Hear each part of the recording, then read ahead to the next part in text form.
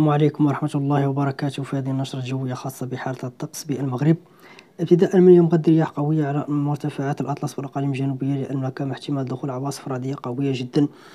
على وجدة بإذن الله والمرتفعات الأطلس وسط الحجوة كيكو خنيفرة وإيفران وكذلك ميدلت وابن ملال وتبين وكندن وأنظمة من تانت وترودانت بإذن الله.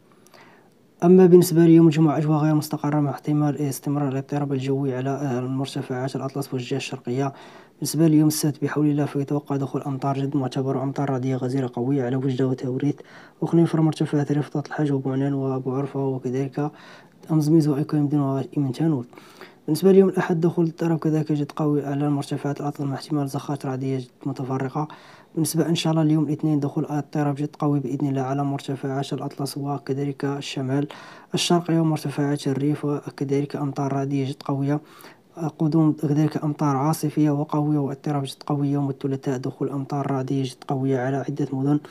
على خريب وفاس ووجدة ومراكش والنواحي وكذلك على أكادير وقلميم والسمارة وبإذن الله بوجدور والدخلة والقويرة وأوسرد أمطار قوية تقريبا على جميع مناطق المملكة بإذن الله.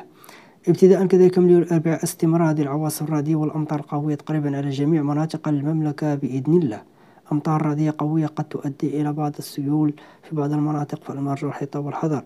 والله يعطينا الشتاء على قد نفع. بالنسبة كذلك اليوم الخميس أجواء غير مستقرة فوق مرتفعات الأطلس واليوم الجمعة كذلك أجواء غير مستقرة مع احتمال عواصف رعدية قوية والخريف قادم بقوة.